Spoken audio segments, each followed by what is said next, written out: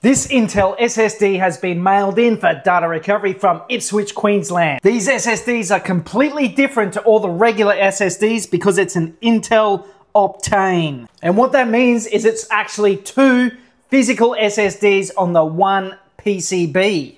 Intel Optane SSDs require special support from your hardware, such as this one, which came from a HP laptop that failed.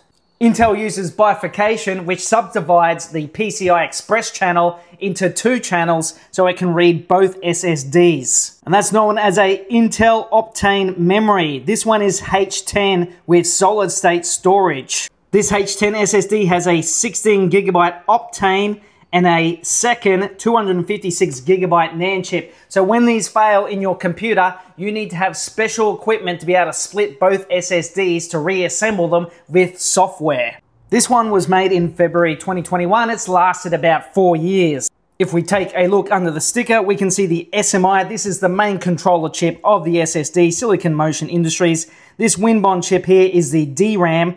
This small chip here is the memory chip for the 16 gig Optane SSD. This little one here is our power management chip, and this large one here is our 256 gigabyte SSD.